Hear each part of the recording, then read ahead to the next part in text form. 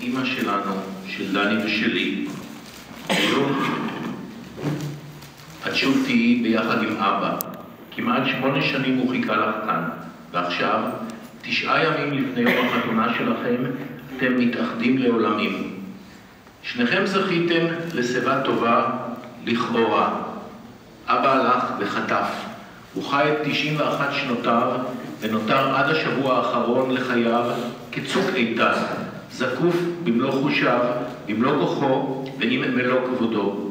ואילו את, בורא עולם נתן לך יותר מתשעה עשורים, אך בעשור האחרון הוא השיל מעלייך בהדרגה את כישורי הגוף והנפש, וקילף ממך שלב אחר שלב את כל מה שהיה בך, היופי והחוכמה והדיבור והתנועה, ואת נותרת כלואה בתוך גופך המזדקן, אך ממאן להסתלק.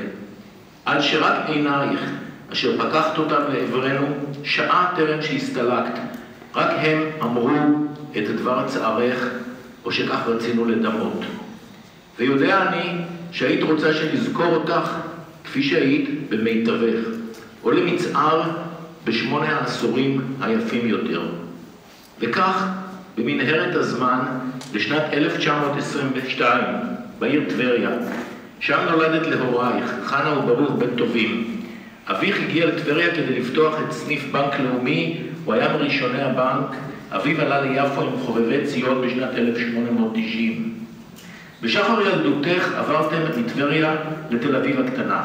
סבא פתח בה את הסניף הראשון של הבנק ובנה את ביתו בקרן הרחובות מה זה ואחד העם. שם גדלת, וחייך כילדה וכנערה נעו בין הגימנסיה הרצליה לקן הצופים ליד מגדל המים וביתך ששימש מקום מפגש לחברותייך הטובות, שרה דורון, ויקי אוסטרובסקי וקיטי שפירא. לא הרחק משם, ברחוב הרצל פינת מטלון, גרה משפחת מטלון. הורייך והורי אבא היו מכרים, עוד טרם שאתם הכרתם. ההיכרות ביניכם הייתה כנראה בלתי נמנעת. לפי הסיפור נפגשתם בבנק לאומי כשגם את עבדת בו, אבא פתח חשבון והיית מתלוצצת כי התאהבת תחילה בחשבון הבנק ורק אחר כך באיש. ביום חורפי כהיום, ב-22 לינואר 46 נישאתם, וביום חורפי אחר, שלוש שנים אחר כך, הגחתי אני לעולם. גרתם תחילה בדירה קטנה מעל בית ההורים ברחוב אחד העם, עד שאבא השלים את בניית הבית בשדרות רוטשילד 125. אליו נכנסתם יחד עם כל שאר המטלונים בתחילת 1950. הבית בו חיית את כל חייך. בו גדלנו אנו, מעורבבים עם הדודים והדודות ובני הדודים, סוג של הוואי מיוחד שחלף. כשמלאו לי ארבע שנים, במקום יום הולדת, קיבלתי כמתנה את אחי דניאל. ועל שנינו שמרה לוטה המטפלת היקית האהובה. תמונות ילדות שחולפות לי כהבזקי זיכרון. עיתון הבוקר שנזרק מן השדרה הישר למרפסת, אשר הייתי מביאו לכם בבוקר למיטתכם ומעלעל בו בדרך.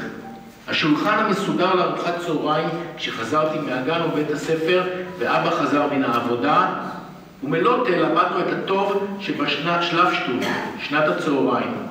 בשבתות, האזנה לתוכנית רדיו כשלושה בסירה אחת, או יציאה למדשאות, מלון רמת אביב ומלון השרון, שם הייתם יושבים בחבורות שלכם, ואנו הילדים משתעשעים לנו בדשא הירוק. טיולים ליער בן שמן, ובקיץ לחוף הסלע בבת ים, לחוף מכמורת, ולצפת, לבקר את הדודה פרידה ודוד אליהו אחיך.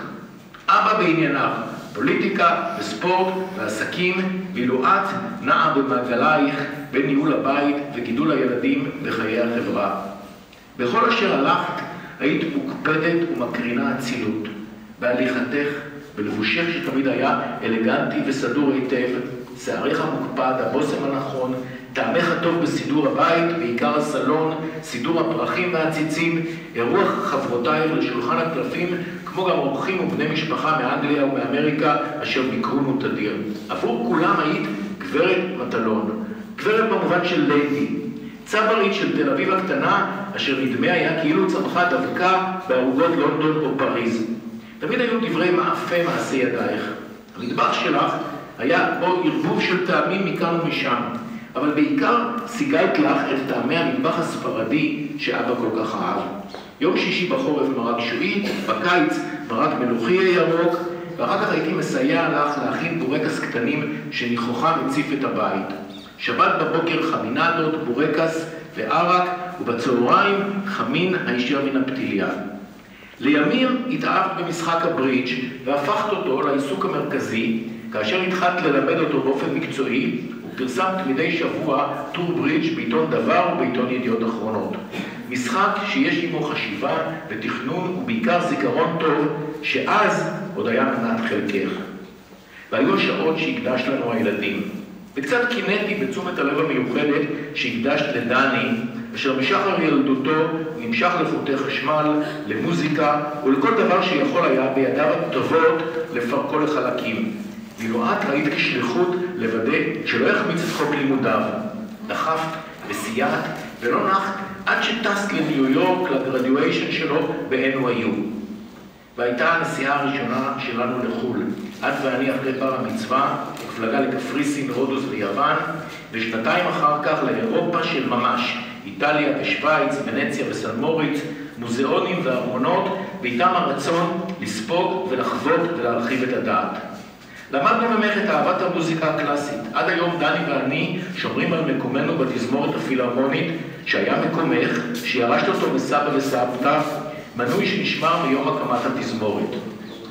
הגוזלים עזבו את הקן, אני ביחד עם ענת להניסיתי בחורף 75 לעבודה בניו יורק, ודני גם הוא לשם ללימודי קולנוע וטלוויזיה. ואז התחלתם לחפש משמעות חדשה לפרק הזה בחייכם.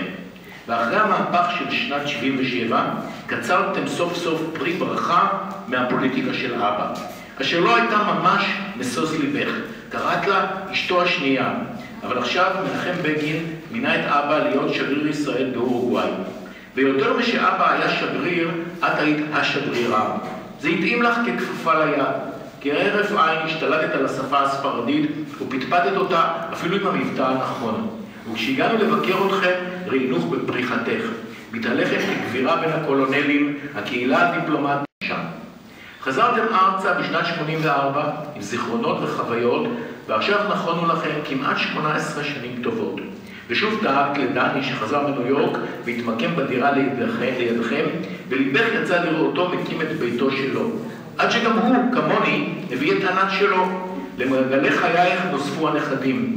מיכל, יונתן ונטע, שלי ושל ענת שלי, הראל וגלעד, של דני ושל ענת שלו. הזדקנתם בכבוד, את ואבא. אבא כבר לא חזר לפוליטיקה, היא, הפוליטיקה הלכה למקומות אחרים. וככה הייתם יותר יחדיו, שגרת חיים נינוחה. אבא חוזר כתמיד בשעת הצהריים מהעבודה לארוחה משותפת, בערב שותים וויסקי, צופים בערוץ הראשון או יוצאים לבילוי וגאים בצאצאיכם. ואז, לפני כ-12 שנה, התחלנו לגלות שהזיכרון שלך, זה אשר הפליא לסייע לך לשוחח בחמש שפות ולזכור בעל פה את כל הידיים שירדו לשולחן במשחק הברידג', הזיכרון הזה החל לשתות בך. ויחד עמו גם הרגליים כשלו. לא חלף זמן והתמונה התבהרה לנו ונאחרה לך. כי קליפת בצל, שכבה אחר שכבה, הוסרו ממך תובנות חייך ומיטב כישורייך.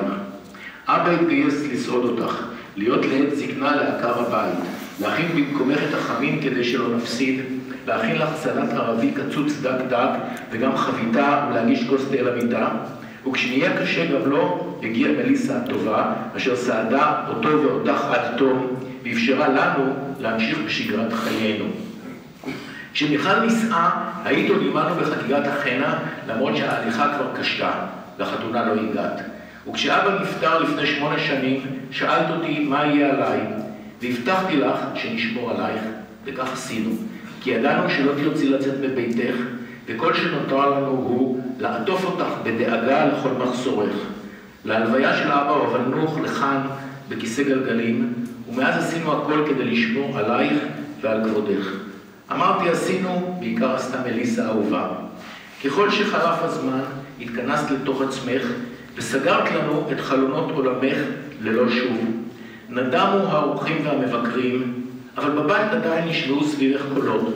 הטלוויזיה שדיברה אלייך ומצחלותיה של אלה, הבת המתוקה של מליסה, שאת היית לה לסבתא.